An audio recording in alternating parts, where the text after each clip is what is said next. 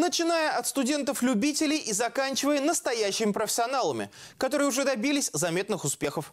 В Тверском кванториуме состоялась церемония награждения молодых спортсменов и не только. Подробности в нашем следующем материале. В этот вечер в Кванториуме собрались как ветераны тверского спорта, так и те, кто только делает первые шаги. Началась церемония с награждения представителей вузовских команд по итогам региональной универсиады. В этом году победу в ней одержала сборная медуниверситета. Это приобщает молодежь к спорту.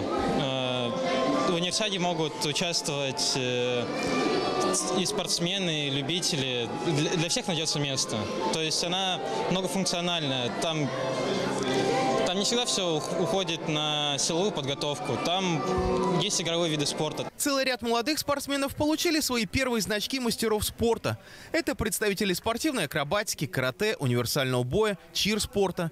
Сертификат на получение ежемесячного денежного содержания вручили известному тренеру Александру Брендакову. За многие годы он воспитал целую плеяду гребцов. Но это все было сделано теми людьми, с которыми я работал, своими спортсменами. Поэтому те спортсмены, которые отходят здесь, я хочу им пожелать достойных результатов в виде спорта. Среди тех, кого тренировал Александр Брендаков, Василиса Степанова.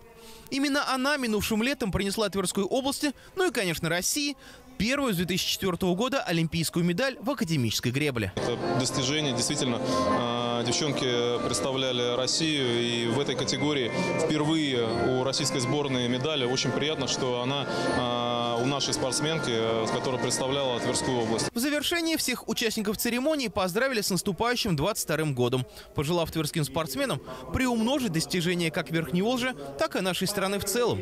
Ведь будущий год будет опять олимпийским, а на поездку на зимние игры в Пекин претендуют сразу четверо уроженцев нашего региона.